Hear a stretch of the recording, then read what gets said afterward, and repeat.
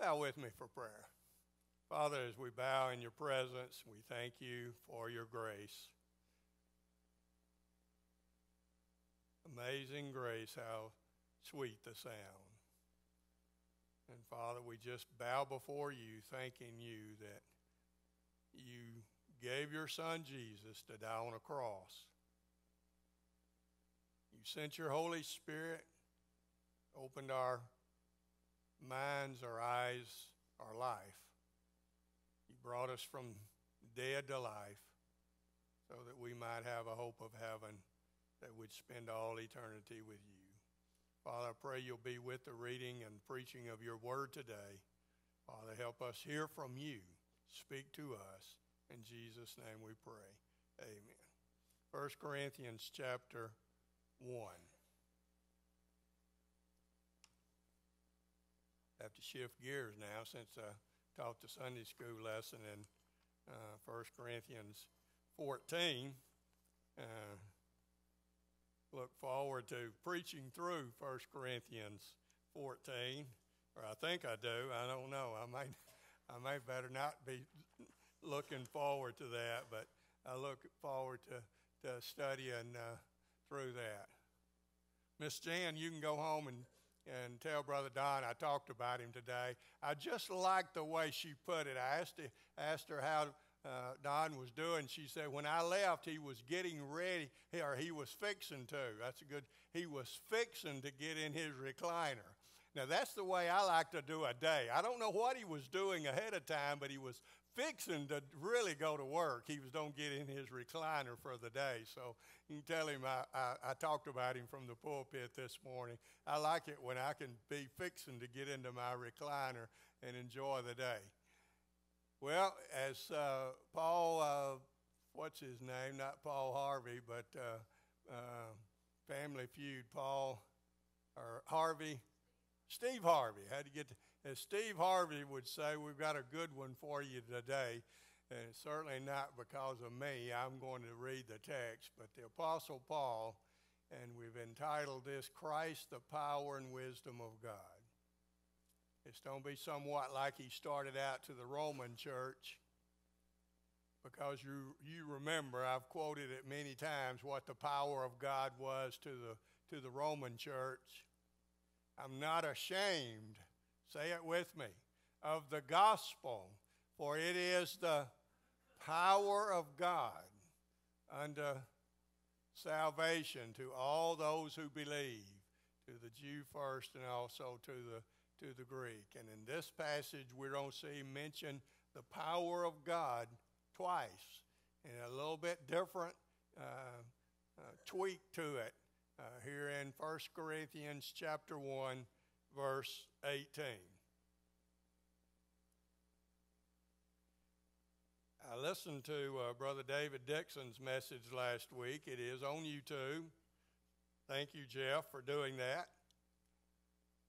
And you can listen to all the messages. Go to our uh, website or just go to YouTube and put in First McNeil, uh, and you can listen to the messages. But I, I noticed that he uh, started his sermon out, and then he said, I'll be reading from the ESV.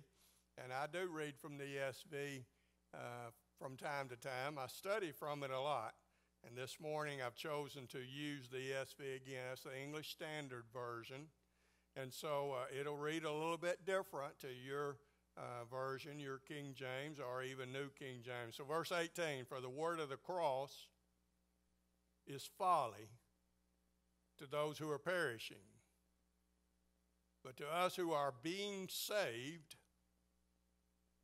all of you reading from the King James says just all those that are saved. But I looked it up, the text does say being saved. It's interesting are being saved, it is the power of God. For the word of the cross, your text is going to say the preaching of the cross, or perhaps the message of the cross. This version says the word of the cross because the original language uses the word logos. This one got it right. This is exactly what the Greek text says. it uses the Greek word logos. The importance of that word comes to us out of John's gospel when John introduced Jesus.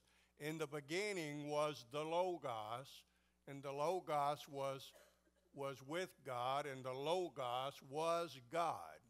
He used that word, Logos, to uh, translated word. In the beginning was the Word, and the Word was with God, and the Word was God. In verse 14 of John 1, and the Word and the Logos became flesh, meaning Jesus Christ, the incarnation it's called, and He dwelt among us. And so to pick this up here, uh, that Paul actually used this word logos, and we see it translated for us and the, uh, for the word of the cross. That doesn't mean just to speak the word Christ. It's not speaking of just a word, that if you speak cross, you've spoken a word that has some, um, some great meaning to it and just speaking the word. But logos is the totality of something, it's the totality of the idea.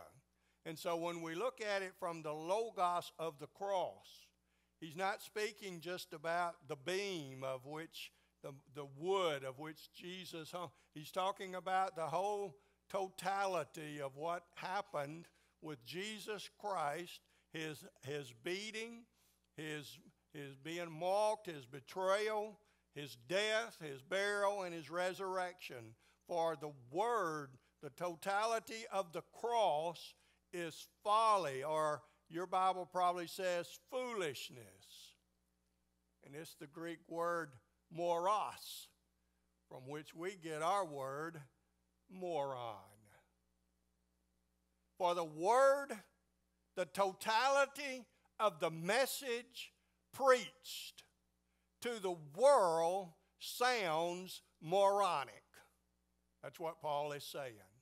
And do we not see that in society today? When they look at us as the preachers of the gospel, that's why uh, preaching is, is not a bad way to say that. It's the, it's the forth telling of the message, of which this translation just said uh, was a literal translation. The Logos, when, when the world hears it, for the word of the cross is moronic we're as morons to those who are perishing, but to us, don't you like that pronoun? To us that believe, to us who are being saved. And that's the correct uh, translation of the Greek text as well. It's, it's there. So, what in the world does that mean? to us who are being saved. I thought I was saved. Well, you've heard me talk about this before. There's three, three big theological words that kind of sum up what salvation in our, our living as Christians and our one day dying and going to heaven. Three big words in our theology that uh, sum that up. And the first one is justification. And justification is the part that we normally think of when we talk about being saved by grace. That's why amazing grace is so important because we cannot save ourselves. We are justified by the fact that Christ died on a cross and paid the debt of which sin had cost the world because all have sinned and all are going to die and all are going to go to hell except for those who have been justified, redeemed, saved, born again, all those different words that we find in Scripture. The second big word, though, is sanctification. Paul starts out even chapter 1 here, this letter to Corinth, uh, saying that he was writing to the church at Corinth and to the saints.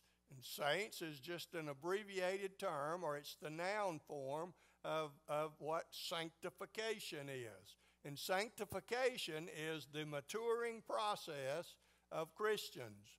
If you want to think about a baby, a baby is born, a baby grows, a baby dies. Justification is our being born again, born in, into, into Christ. Our sanctification is our lifetime of growth. And then one day, as Christians, we die and go to heaven. But sanctification is extremely important. In Paul's theology, if there's no sanctification, it's because there's no justification. Guys, I, that's, that's a mouthful that that one word changed, or that one word made us aware. Being saved. The writer of Hebrews says that if you can go out here and sin and live like you want to, and live for the devil your whole life, and Christ never chastens you, then the King James uses the old bastard word or illegitimate. God is not your father. I've often said, how is it that we can expect the Holy Spirit of the living God to indwell us and never change anything? In fact, for some, they go the opposite direction while claiming to be a Christian. We are being saved because we are saved in justification. That's where faith comes from. We have to believe. However, you look at this subject of God's calling and man's belief, the text is plain. There has to be faith, there has to be belief. And from that, there is a growing then.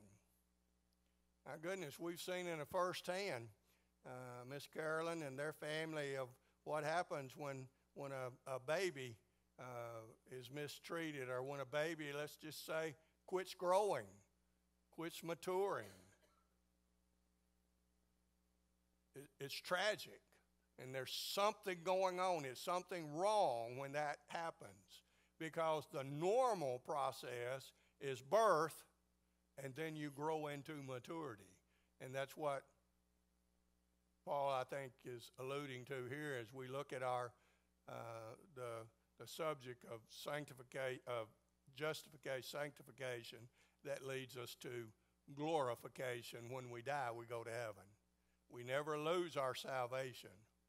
But if there's never any evidence of any Christian maturity or the whipping of God along the way, then we could we we're pretty safe to say, then you better you better check up on your salvation to see if indeed you are saved. So so Paul is saying to the Corinthian church, the word of the cross, the totality of the message of Jesus Christ dying on a cross is just moronic.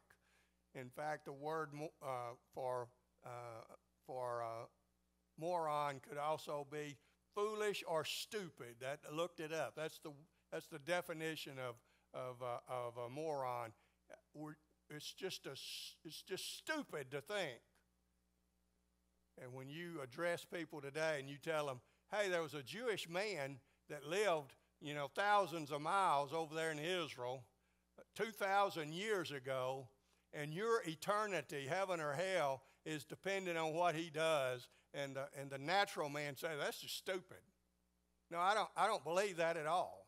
That has no bearing on me. I'm going to heaven because I live good or, or because I hadn't done all these bad things. For the word of the cross is folly to those who are perishing, but to us who are being saved, it is the power of God. And then look at how he uh, illustrates that. He picks up a verse out of Isaiah. It doesn't say uh, here, but this is where it came from. For it is written, Isaiah said this I will destroy the wisdom of the wise, and the discernment of the discerning I will thwart. Well, if you would have expected him to have the perfect illustration if the Holy Spirit of God's leading him, guys, he had the perfect illustration he picked up on a scenario where Sennacherib, the, the king of Assyria, had come down and encamped around Jerusalem and had sent word in to Hezekiah the king and said, uh, uh, if you'll pay us so much money, then and and be, uh, you know, then we'll take care of you and and let you stay uh, until we get ready to relocate you. But but we will relocate you at some future time. But we'll take care of you. And uh, Hezekiah sent word to Isaiah, and Isaiah went before God, and God told Isaiah to tell Hezekiah that. Uh, uh, they would not be taking over Jerusalem, not to fear him, uh, that he was the one in control. And so uh, uh, Sennacherib sends his messenger up there and says to the people on the wall, in fact, uh, it's, it's, a long story in Second Kings about this. And so in, in 2 Kings, uh, Sennacherib sends his messenger up there, and all the men are on the wall, and, and uh, some of the the, the officers come out and say, Don't speak to us in, in, in, in Hebrew because they'll all understand it. Speak to us in your language so that we can just converse and they won't know what's going on. And uh, even the messenger said, No, I'm speaking to you in, in, uh, uh, in, in your language, in the language of the Jews, so that they'll all know and they'll all know that your king is trying to say, we're going to depend on God because there's no God in the land. Look around and see what God in the land has kept King Sennacherib from overtaking them. And he goes to listing a bunch of them. Did that God take care of them? Did that God free them? Uh, the, the great kings of Assyria have taken everything they wanted to take. And that's what he said, and that's where he left it. Let me read to you what Hezekiah prayed. And boy, if we'd pray like this, we, we, might, uh, we might see more happening as well. In uh, 2 Kings chapter 19, verse 15, and Hezekiah prayed before the Lord and said, O Lord God of Israel, the one who dwells between the cherubim, you are God you alone of all the kingdoms of the earth, you have made heaven and earth. Incline your ear, O Lord, and hear. Open your eyes, O Lord, and see.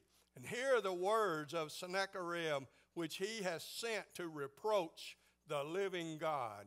Truly, Lord, the kings of Assyria have laid waste the nations and their lands, and have cast their gods into the fire. For they were not gods, but the work of man's hands, wood and stone. Therefore they destroyed them. Now, therefore, O Lord our God, I pray, save us from his hand, that all the kingdoms of the earth may know that you are the Lord God, you alone. Now get the setting both of Second Kings and of First Corinthians.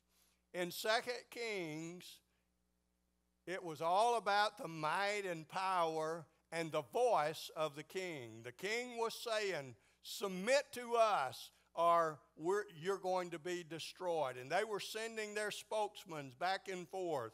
And even a letter was sent to Isaiah, and Isaiah gets a word from God, sends it back to uh, Hezekiah the king. You don't have a chance. And that's pretty much what he said.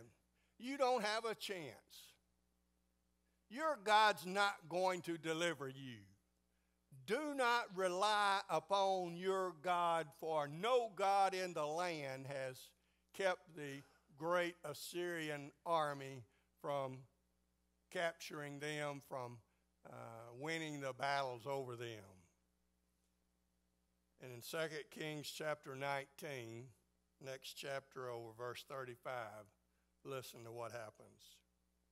And it came to pass on a certain night that the angel of the Lord went out and killed in the camp of the Assyrians 185,000 men. And when people arose early in the morning, there were the corpses all dead. So Sennacherib, king of Assyria, departed and went away, returned home, and remained at Nineveh.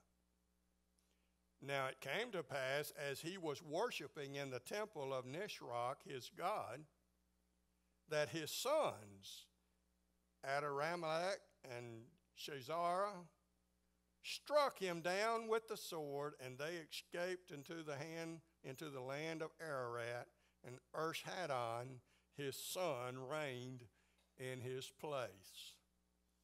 Back to 1 Corinthians. The word of the Lord, the word of the cross, is just moronic. It's foolishness. For it's written in the book of Isaiah, I'll destroy the wisdom of the wise, and the discernment of the discerning I will thwart. King Hezekiah didn't lift one finger. The Jewish people did nothing. But they went before God in prayer, and God intervened, and God completely handled the situation. And that's what Paul wants us to see in this passage is that God is in control. God, uh, the preaching of the cross is folly to those that are perishing because they don't understand. They're the, they're the Sennacheribs of the world. But to us who are being saved, it's the power of God, that God is on our side, that God is winning the victory, and it's not up to us, it's up to God. Where is the one who is wise? Where is the scribe? Where is the debater of this age? Has not God made foolish the wisdom of the world?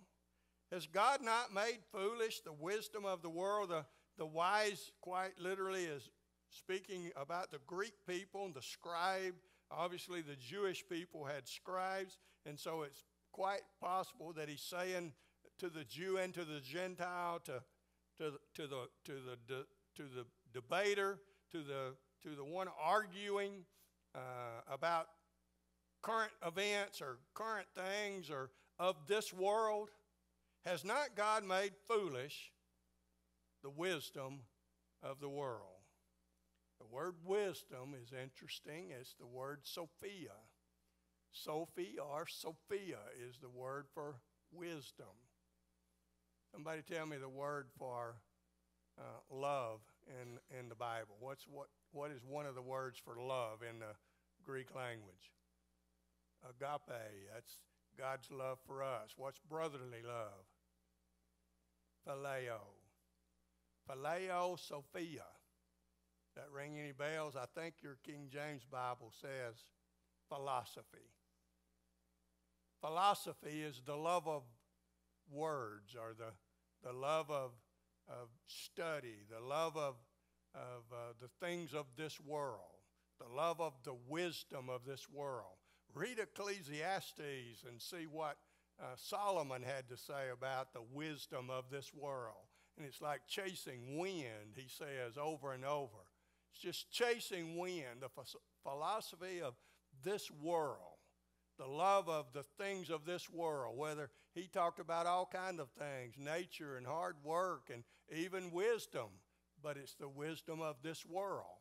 It, all of it's just chasing after. Nothing wrong with, with school and studying and learning if you realize that it's not that that's important.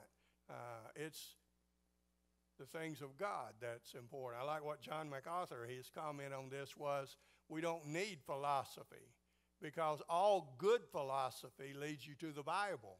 So just read the Bible. All bad, theo- uh, all bad philosophy you don't need anyway, so reject it. So you don't need philosophy at all. Paul, when he arrived at Mars Hill in the book of Acts, and they were, they were all, the Greeks were famous for their philosophy. Plato and Socrates and Hippo, I think, and all those guys that uh, were uh, Greek philosophers, and that's, uh, that's what they were known for. They just wanted to get together and try to figure out the universe and all that. And they had a placard to the unknown God, lest they offend a God they didn't, they didn't know. And Paul goes in and, and uh, introduces them to this unknown God, and he's the God of the cross. He's the, he's the God that uh, this world says is moronic, is foolishness. God has made foolish the wisdom of the world. It's not the DNC or the RNC that's going to save America, that's going to save the world. In fact, I know Rodney's on uh, Facebook and YouTube or whatever and all that, and some of you are, and I am.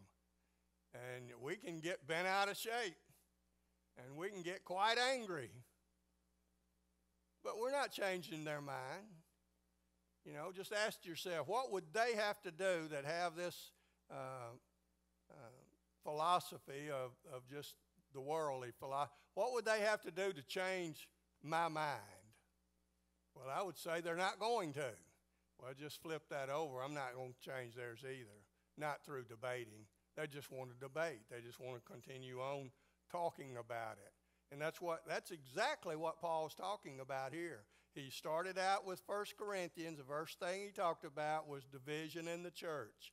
And this is one of the things, just to, just philosophizing about all the things that that uh, could happen or, or all the knowledge in the world. What pick a subject, and God is saying that God has made foolish the wisdom of the world. For since in the wisdom of God,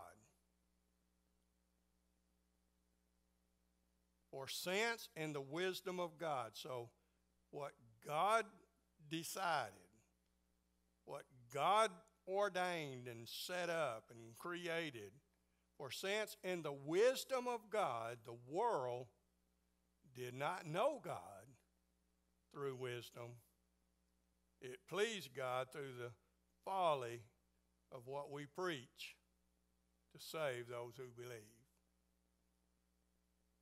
In other words, Paul is saying God chose something that the world thinks is stupid in order to save all those who would believe. That's the plain and simple of it. You present the gospel, you present the message, you talk, invite people to church, you talk about uh, how to be righteous and all those things. God ordained that those things would bring us to faith. And yet the world looks at it and says, no thanks. That is just stupid. I've mentioned it before. There's things on YouTube where you can go out, and mainly where I see it's in the uh, beaches of California. These guys will go out with a microphone and they'll just start asking people questions about Jesus. And after a while, you'll just have to turn it off. You, you can't just sit there and listen to the things that come out of people's mouths when you ask them what they think about Jesus. I mean, it's, it's just absurd. And it's because to them the message is a stupid message. In verse 22, for Jews demand signs and Greeks seek wisdom. The Jews came to Jesus and said, Show us a sign so that we'll believe. Right after he took two fish and five loaves and fed 5,000 people. In the same context, they said, Show us a sign. Where's your sign, if you know what I mean? That's just pretty dumb, isn't it? That's pretty stupid. The Jews demand signs. The Greeks seek philosophy, seek wisdom. But we preach Christ crucified. If you were here the day that I introduced 1 Corinthians and I had the, the drawing, the little cartoon drawing, it went all the way through the, the, the book of of 1 Corinthians, it said over and over that Paul's going to take all these issues and he's going to point them all right back to Christ. And 1 Corinthians is a book about issues. Let the women be silent in the church. Obviously was a issue in that church at that time that had to be addressed. Every issue in 1 Corinthians, he drives it right back to the cross and right back to Christ and guys, that's still where we have to go today. All of our issues can be solved when we go back to Christ, when we have a relationship with Christ and we're walking with Christ and we're hand in hand and the Holy Spirit of God is indwelling and leading us. We make wise decisions. We have wisdom of which to handle all these other issues. We don't have to, we don't have to have a word about every issue. We have Ten Commandments. And we know that if we have the wisdom of God, we'll make decisions that please God. Kelly run across a comment and I asked her about it. She said she didn't remember where it came from. You can't have a hunger for God when you keep nibbling on sin. And so fill in the blank, whatever the sin is, whether commission or omission. You can't be hungry for God when you're full of all the, you know, that's just stands to reading. You don't, you don't let your children eat all the ice cream they want right before you feed them dinner because they're already full of something else that's not as nutritious. But we preach Christ crucified, a stumbling block to Jews and folly to the Gentiles. The word stumbling block here is scandalon, where we get our word scandal. Paul, I mean, look at what Paul said. We preach the Logos, or the gospel, as he called it in Romans. We preach Christ and Him crucified as a scandal to the Jewish people and stupidity to the Gentiles. And that's our message. That's our rally cry. That's our flag. Look at us. We're the stupid, scandalous people because we're preaching the gospel of Jesus Christ. And the rest of the world just shakes their head at it. No wonder they don't believe us. It's to them as a scandal. First century, you know. Well, just tell them that the disciples stole their body, or just tell them this, or tell them that. Tell him he didn't even really die. He just kind of passed out and he, he got better, and, and it's just a scandal. It was then, it is today. But to those who are called, both Jews and Greeks. And you can't get away from that word either. To those that are called, because we were everyone dead in our sins. And but for the grace of God, we would all still be dead in our sins. But the calling of God awakened our minds so that we saw that it wasn't scandalous. We saw that it wasn't moronic. What? Were we better? Did we just wake up one day and, and say, hey, I believe that story about a man dying 2,000 years ago for me? What prompted that? And what keeps it from prompting to the masses of the world? As Jesus said, the way to hell is broad, and many are on it. The way to heaven's narrow, and few are on it. Why, why didn't he say, and, and let's reverse that?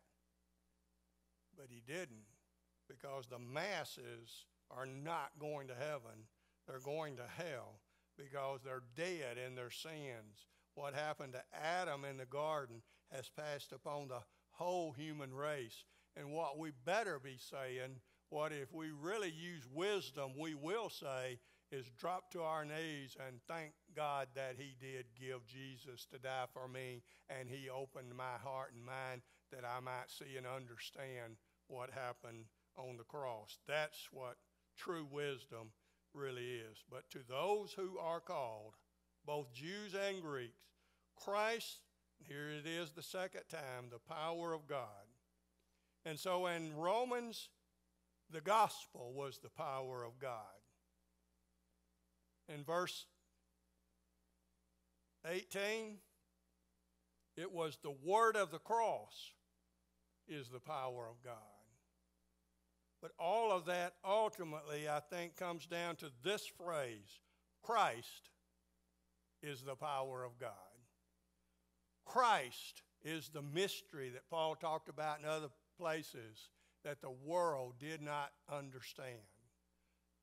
Who could have envisioned, who could have thought that God, as, the, as God the Son, would be born of a virgin, having never known a man, and lived a perfect life and died on a cross